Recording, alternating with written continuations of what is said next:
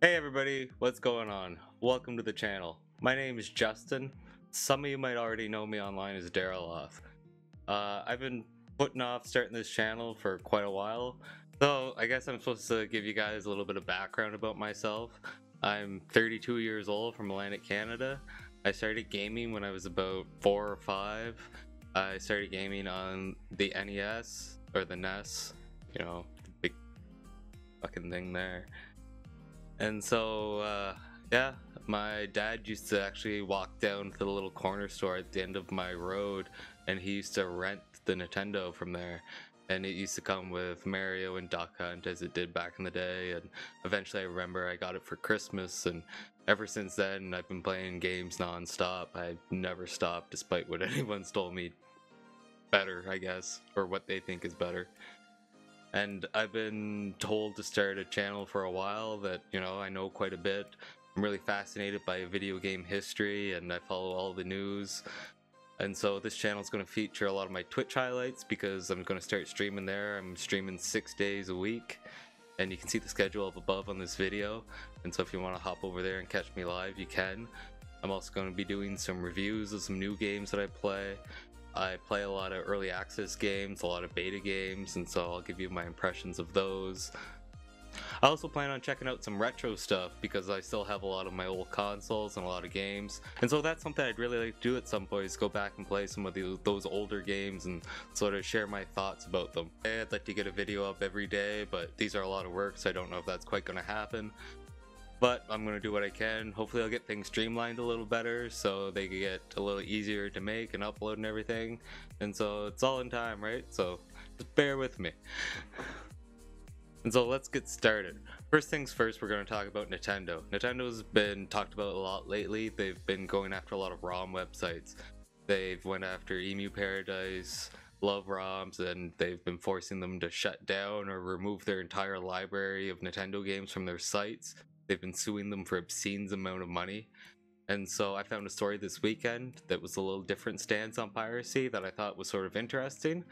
And that comes from Compulsion Games, the developer behind We Happy Few. Uh, the game was in early access for a couple of years and it finally got released last week.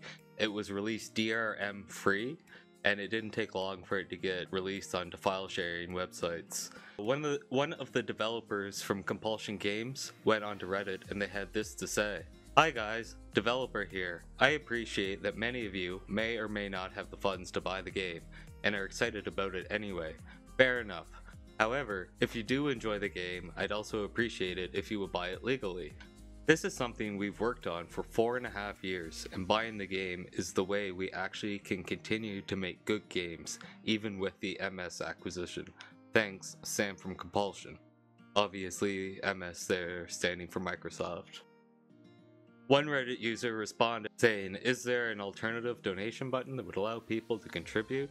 I know that buying the full game is the best way to support, but for those that can only contribute 5, 10, 20, 30, etc., the developer responded saying, I'm afraid not, but I appreciate you asking. In any event, if people are not able to buy the game, then I really wouldn't want to ask that they do. That donation money might be better spent on looking after themselves. I think this is a great example of developers understanding that, you know, not everybody can afford the high price of games nowadays, or that some people might just want to try the game before they buy it. After all, it's not like the good old days where you could just go down to the corner store and rent a game and try it out before you spent your hard earned money on it. I think it's important to note that We Happy Few also released without any DRM in the first place, which is somewhat uncommon nowadays. Many companies spend a lot of money putting DRM into their games to protect their release window, and those games are often plagued with performance issues because of this. So, Compulsion seem like a group of really great people, and I think they should be commended by taking this stance. It's one that not a lot of companies do, but I think it's one that more companies should.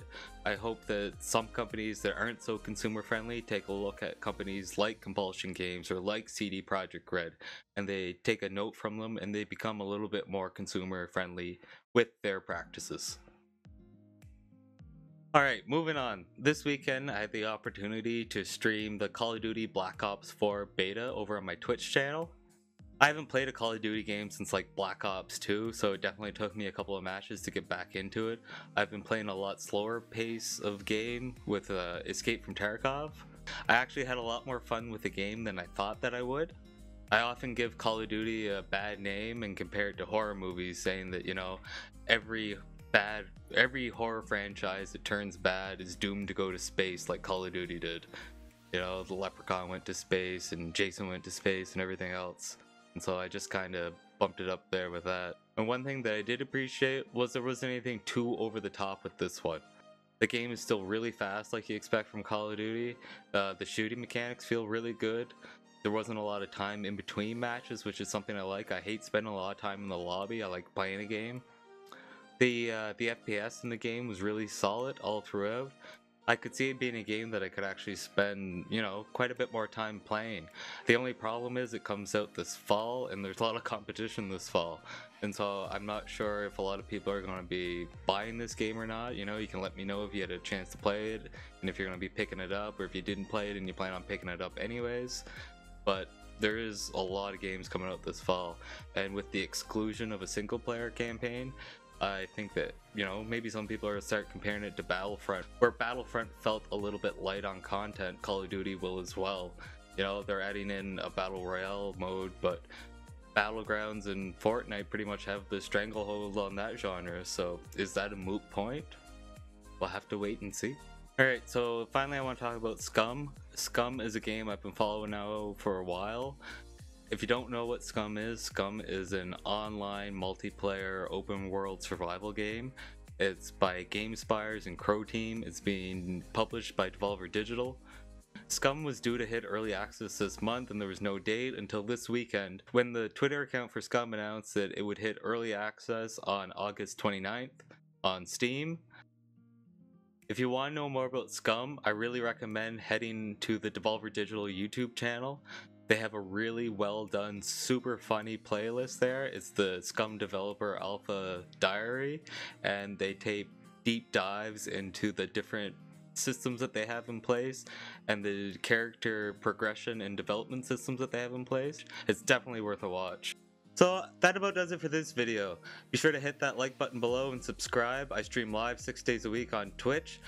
Uh, if you have a question or a comment about something you see here, come drop in, or you can just say hi and check out what game I'm playing. Also, be sure to follow me on Twitter and Facebook, that way you'll know when I upload a new video and when I'm going live.